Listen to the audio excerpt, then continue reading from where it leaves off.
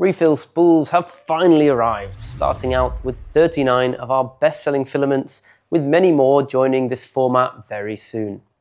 We're also releasing a community-designed 3D printable master spool, packed with some really great features, and the best part, the Polymaker Refill spool is already compatible with popular master spool systems already on the market. So if you already have one, the chances are you're ready to roll.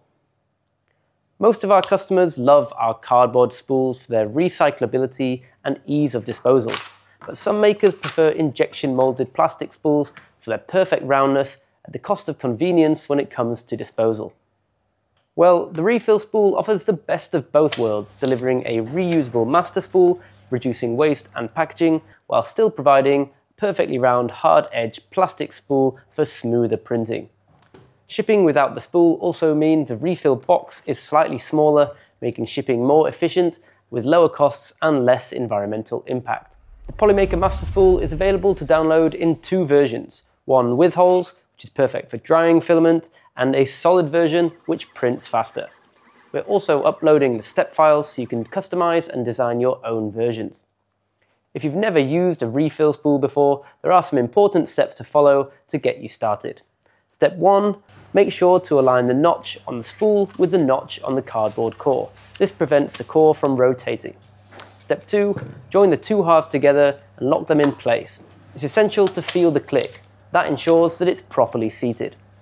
Step 3. Secure the filament end before removing the plastic tabs. And step 4. Finally, you can remove all the plastic tabs. Our master spool also includes a customizable insert. Inside you'll find an area where you can slide an RFID chip from an old spool. This means if you're using an AMS with a Bambu printer, you can reuse your old RFID chips. If you're using a material such as PLA, the settings are usually transferable, albeit not perfect. Just keep in mind that the RFID reader on the AMS is next to the core of the spool, so the insert should line up with this orientation. We've also added a filament grip around the inside edge of the spool, giving you more points to secure the filament and also making it easier to stack or display spools neatly with zero gaps. The nice thing about printing your own spools is that you can get creative with the colors and finishes.